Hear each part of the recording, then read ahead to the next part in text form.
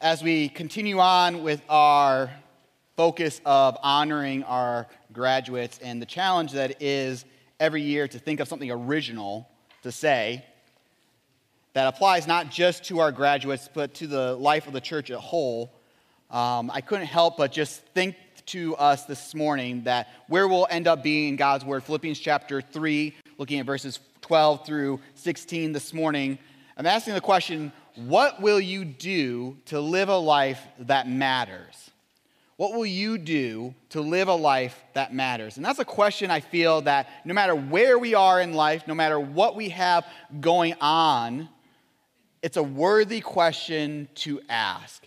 Is this pursuit I'm after? Is this hobby that I am a part of?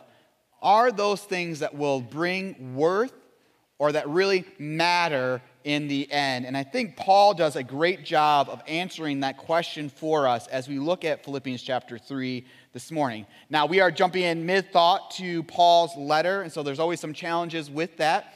And so I just want to give you kind of a synopsis of where we have been in Philippians to where we will be here this morning, in case you're unfamiliar. Paul is writing to the church of Philippi.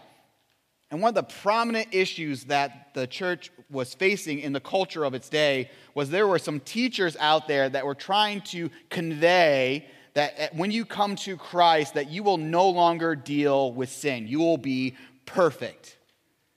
I don't know who could teach that. They're better salesmen than I could ever be. Or maybe they were never really married, and so they had nobody to really point out their flaws. But regardless, Paul is addressing this very issue in the life of the church. And so that is why when we read through these verses, we will find why Paul is saying, not that I'm already perfect, not that I've already obtained this, but I keep pressing on. Or in essence, what he's saying is, what are you doing with your life that matters? What are you chasing after? What are you seeking after? And I think in some ways, we are all in pursuit of something, whether it's from the very beginning when you were a baby or a toddler. There's probably a phrase that your parents heard you say often, and that was the phrase, I do it. I do it. If you haven't been around a two year old very recently, come to my house, you'll hear it all the time. No, no, no. I do it. Okay, that's great, but I'm going to clean the toilet with the chemicals, all right? You're not doing it. Or I do it. All right, that's great, but these are sharp knives. You're not going to just do it by yourself in the kitchen, cutting all these vegetables, right? And at the end of the day, the thing that we are often pursuing in those instances is that of independence. We're trying to find those things that will bring worth in our minds, developing new skills every single day. And so, to our seniors who we are celebrating the accolades of what you have accomplished in your life, they are awesome. And you are stepping into a new phase of life today, this year, this summer, this fall, wherever. But there are some who are sitting here this morning who are retired or are close to it. And you might be thinking, well, this message clearly is not for me. But I think at each stage, we at one time have asked the question is what I'm pursuing matters? And I think that enters even into our retirement life. Now, some of us are much further away from that than others, so, but the question still remains is what I'm pursuing matters? Is my end goal, is my purpose in whatever it is going to glorify God. And so, as we look at Philippians chapter 3 this morning, we're going to seek to answer that question by seeing three different pursuits of how Paul is going to address that for us. And so, number one, we're going to see this morning is in verse 12, is that we need to live our life with passion. And Paul says that in verse 12. He says, Not that I've already obtained this or I'm already perfect, but I press on to make it my own because Christ Jesus has made me his own. Brothers, I do not consider that I have made it my own, but one thing I do, forgetting what lies behind and straining forward to what lies ahead. I press on towards the goal for the prize, the upward call of God in Christ Jesus. And let those of us who are mature think this way. And if in anything you think otherwise, God will reveal that also to you. Only let us hold true to what we have obtained. And so, as Paul is addressing the church of Philippi, he's saying, you need to live your life with passion. And I was trying to think of what would be a pretty good idea for us as Michiganders. What would that idea of a passion being so known or so contagious? And I thought, you know, recently, Detroit Lions, whether good or bad in your mind, mostly bad probably, if they won the Super Bowl next year, I'm pretty sure the people of Michigan would be so absorbed within their passion that even if you weren't a Detroit Lion fan, you'd get caught up in that, right? Apparently, we don't have a lot of football people here this morning. or you're not Detroit Lion fans because you know just how bad they truly are. But when we think about the idea of passion, it's easy for us at times to get caught up in it. Even if we don't really care, if somebody is truly passionate about whatever, you can get excited alongside of them, right? And so, if the Detroit Lions won the Super Bowl this next time, I think even if you weren't a Lions fan, you'd be pretty excited. Because you guys get pretty excited about when Michigan beats Ohio State. So, and I could care less because I'm from New York, and so we don't have any good teams out there. So don't think, well, Pastor Ryan, you're obviously an Ohio State fan, blah, blah, blah. No, I got married into that cult, and so it's bad. But in verse 12, Paul says, Not that I've already obtained this. And so, what is this thing that Paul is trying to obtain? Or what is he pursuing? What is he passionate about? And we've already talked a little bit about this, but he's seeking that full maturity in Christ.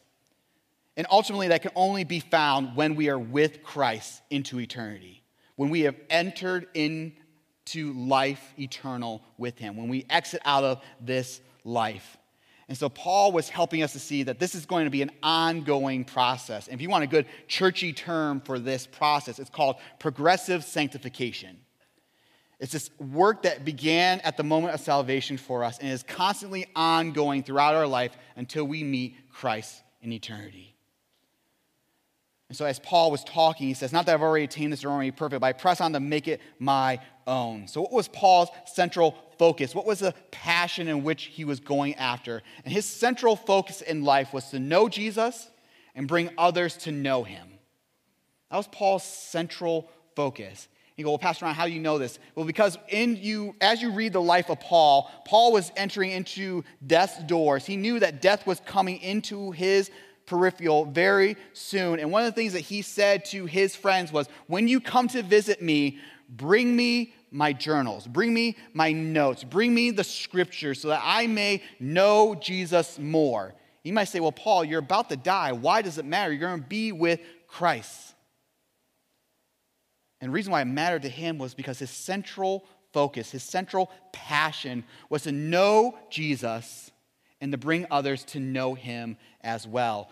And so that should cause us to pause this morning and ask the question what am I passionate about? What am I pursuing? Because Paul would write in 1 Corinthians chapter 9 verse 24, "Do you not know that in a race all the runners run, but only one receives the prize? So run that you may obtain it." What is your passion? What will your life be known by? How long will your achievements, whatever they may be, be known for? And I think a good perspective for us here this morning was actually made by Alistair Begg recently. He made this statement You will not sit in heaven wishing you worked more. You'll not sit in heaven wishing you worked more. Man, if I only put an extra five hours at work every week, I would have had so much more money, and we're not going to talk about that in heaven. That's not going to be our central focus. That's not our passion as believers. What we will do probably in some moments, or probably wish we would have invested more spiritually in our lives and the lives around us. So, what is your passion? What is it that you are pursuing? Because our world is riddled with a pursuit of money, extracurricular activities, hobbies, etc. But we're all left with the question does this stuff really matter? At the end, does your, does your golf handicap truly matter? Does your video game score really matter? Does your accolades of however many letters after your birth given name matter? And I think at the end of the day, the question really needs to be what is it that I'm passionate about? And how do we develop this passion that we're talking about here in verse 12? Well, number one is that we have to understand that passion is caught by doing. I don't know if you've ever been around somebody who is passionate about something, but you kind of got caught up in it. How many of you ever been around somebody, you're like, man, they're so passionate about it, I want to do it myself, and you start doing it, and then you kind of quickly stop doing it because it dwindles, and you're like, okay, this isn't as cool as they made it appear. Right? You might be watching sports on TV and go, wow, those people are so amazing what they're doing. You know what? I'm going to go pick up a football and I'm going to make the NFL. And you go try, and quickly fade away. Or I enjoy watching hockey and I go, man, I bet you I can do what they do. And as soon as a 250 pound defenseman checks me into the wall and all my bones recover, I'm probably going to go, you know what, it's cool to watch, but that's about it. This is not for me, right? And so we have to understand that passion is caught by doing. So at some point, our passion needs to be rooted in the Word of God when we talk about what Paul is talking about. We have to have a plan. We got to read it. We got to study it. And a great place to start, if you've never started in your own life yet, is maybe to pick up a proverb and read a proverb a day. There's 31 of them, which means that within a given month, you'll read through the book of Proverbs in one month by reading one every single day. Or you could start with the book of John and read one chapter. There's 28. So that means you have a couple of days of leniency if you miss one or forget. But you can read the book of John in one month, every single day. But you gotta have a plan. You gotta have something to get caught in so it doesn't just dwindle away like so many of our passions often do. But a passion that truly gets caught, if it's going to stay, it needs to get cultivated. And for us as believers, our passion is cultivated by learning. And so we can't just stop by just saying, oh, I'm just going to read my Bible. Man, grab a tool to help you develop that, to cultivate that. Whether it's a cross reference guide, a map, a concordance, something that's going to push you deeper. You know, one of the greatest privileges we have here at Berean is a awesome library that has those resources. So what I would encourage you is go to the library as soon as we're done. Grab one of those tools and use it freak out the librarians, empty out the whole section. That'd be awesome. Not that I'm trying to sabotage them, but I think, I think when we utilize the things that God has given us, people get excited. You know what might happen? We might have to go, all right, we're going to have to put some budget more towards tools because people are using them so much. Or go out and buy your own, but cultivate it, develop it, grow it within your life. And then lastly, we need to have passion that is cemented by accomplishment. Passion that is cemented by accomplishment. And when we talk about spiritual accomplishments, that takes all sorts of forms, all sorts of ways to view it, right? Whether it be somebody that you share Christ with and they come to know to saving knowledge of faith, that is an accomplishment. Or if you are somebody who read and memorized 600 some verses in your lifetime, that's an accomplishment all those things cement in us a desire, a passion that will grow and be contagious around other people. So we got to live out what we're reading, what we're studying, and share it with people around us. Man, write down a goal that you're going to live out this week and see how God grows within you a deeper passion for Him, something that you're able to gauge it by. But as we live with that passion, why does that matter so much? Well, let me give you an example. Somebody might come up to me this morning and say, You know Pastor Ryan, I'm so passionate about crocheting. In case nobody knows what crocheting is, that's the whole you make things with fabric or yarn and you make hats and hand mittens and all those type of things. Somebody might come up to me and go, Pastor Ryan, I'm so passionate about crocheting. You really need to get into this thing. I'm going to say, I'm probably going to say, no, that's okay, I'm sorry.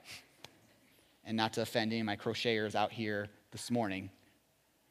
But it's just not something that interests me. But you know what? If you're passionate enough about it and really develop a need for why it's so important in my life, you might get me. Because we know that as we are around people who are passionate, who are able to articulate reasons why something like that matters so much, it will cause us to dive deeper into seeing why they're so passionate. And you might get caught up in it. And we might have to be doing donation bins of all these hats and mittens that we are now going to have from all of you crocheting people out there. But we all don't want to be somebody like an Eeyore when it comes to our walk with Jesus. You know, you might go up to somebody, you know what? Following Jesus is great. Wouldn't you love to be a follower of Jesus? It's so exciting. Right? Nobody wants to be around an Eeyore. But also, nobody wants to be around that person. It's like, you know what? You want to learn about Jesus? Let me talk about Jesus. Jesus is so awesome. He's so great. And easy there. Cut the coffee, cut the caffeine out.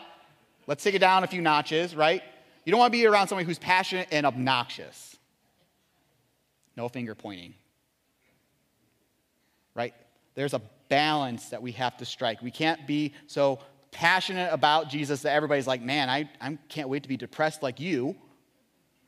You don't want to be around people that are so passionate that you're like, man, I don't know how much caffeine you got to get to get you that level of lover of Jesus. But we have to find the balance. And so, where is that? Well, it comes in our humility. It comes in our humility, which Paul talks about in verse 13.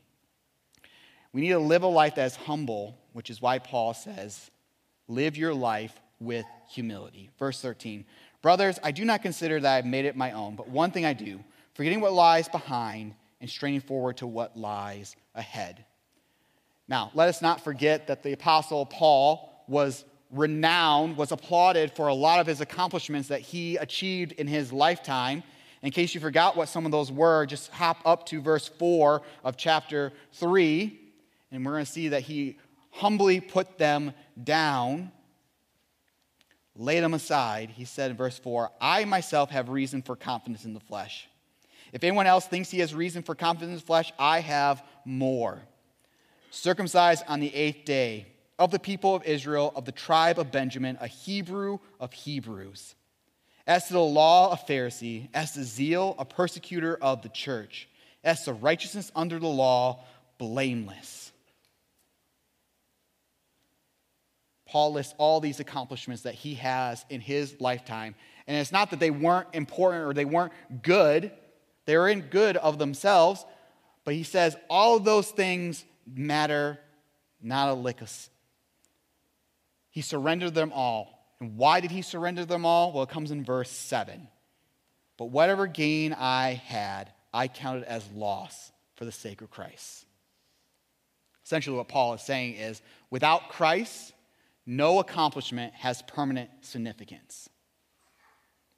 Without Christ, no accomplishment has permanent significance. People would have looked at the life of Paul and said, man, he's got it all together. He's done so much in his life. That is something to be proud of. But Paul says, all those things mean nothing if I don't know Jesus.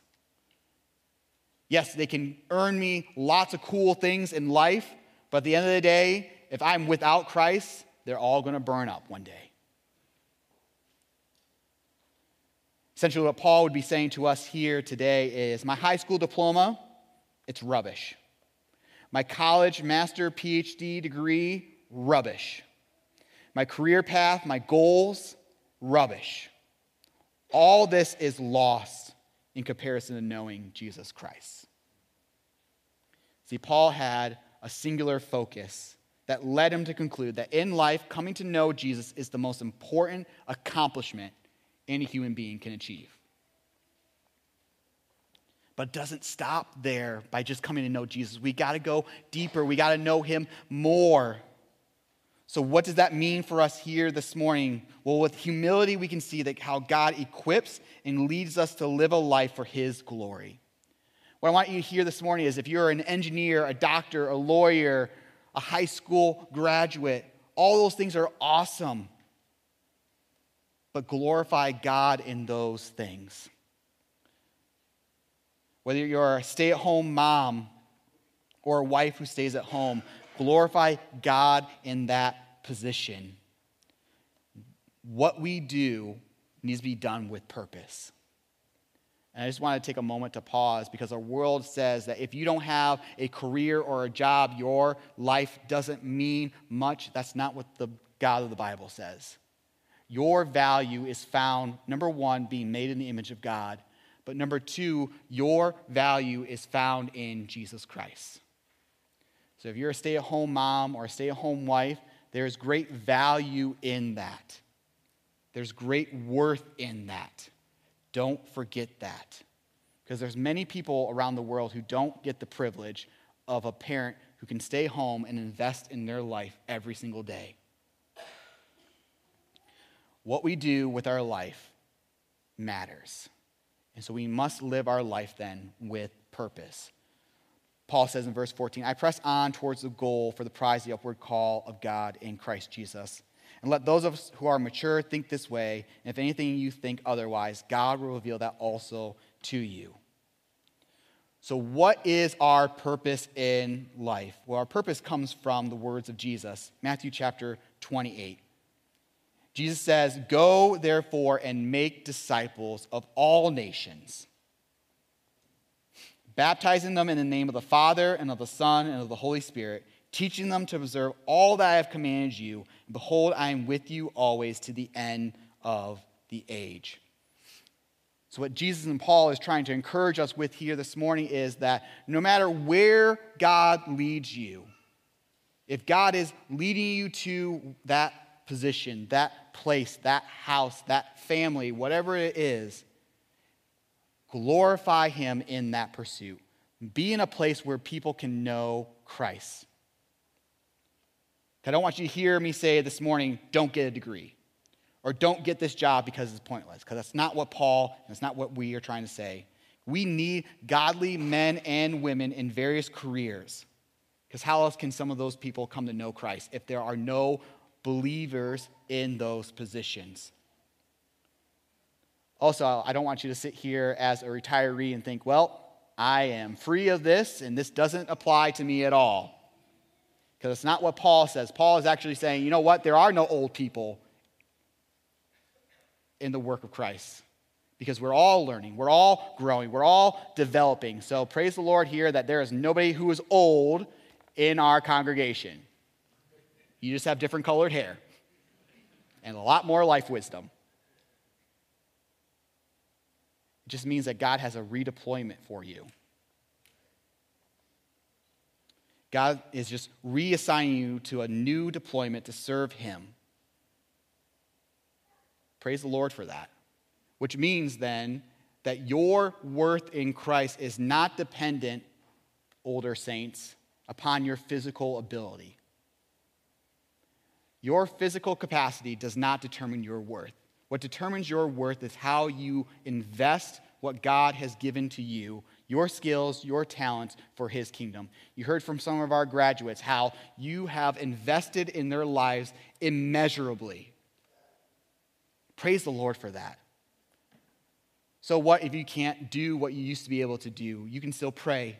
You can still encourage. You can still do a lot of things. You can just sit and listen to some young whippersnappers talk about whatever.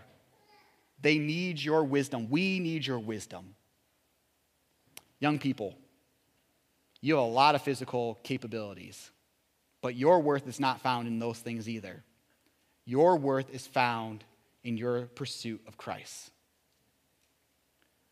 Let's remember those important truths this morning because Paul is saying we're all in pursuit of something.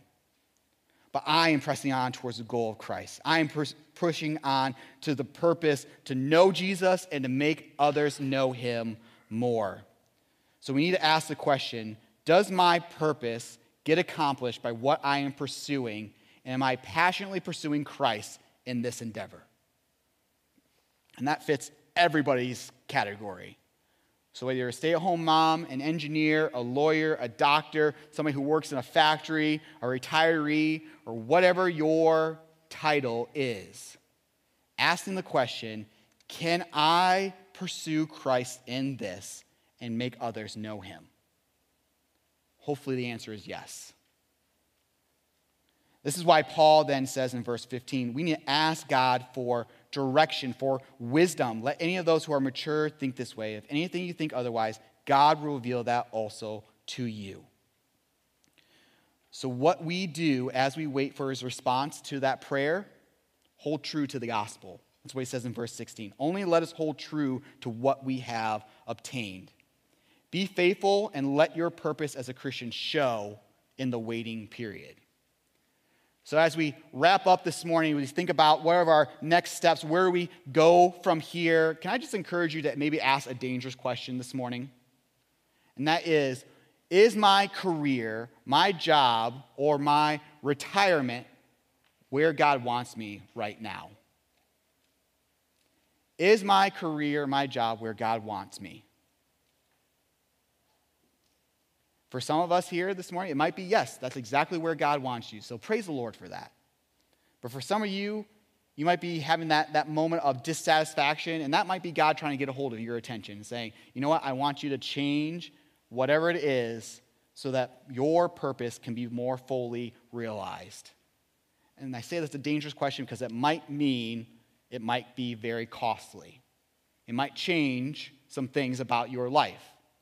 But let me tell you, the obedience to the God of heaven is far more important than a monetary dollar amount in your life.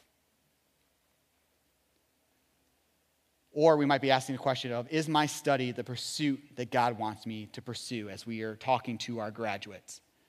And so, what I want to say is don't be afraid to seek the advice, the counsel of people who love and care about you deeply.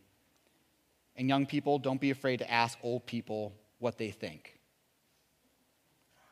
I mean, wiser people what they think. if God is leading, God will open the door for you. So that's our question for this week. It's a dangerous one. It might mean some discomfort, it might mean some changes are in order, but you know what? God will sustain and provide if He is calling. Let's pray. Father God, I want to thank you so much for this morning. Thank you for waking us up, bringing us here to a church that loves you, loves your word, and seeks to live it out in their daily pursuits. And Father, I pray for each one of us here as we ask the question that we've been talking about this morning. Lord, open our eyes to where it is that you are asking of us to go and what it is that you're asking us to pursue. And Lord, things need to change in our lives that we would be bold and courageous to do those even today. And Father, we pray these things in the precious name of Christ. Amen.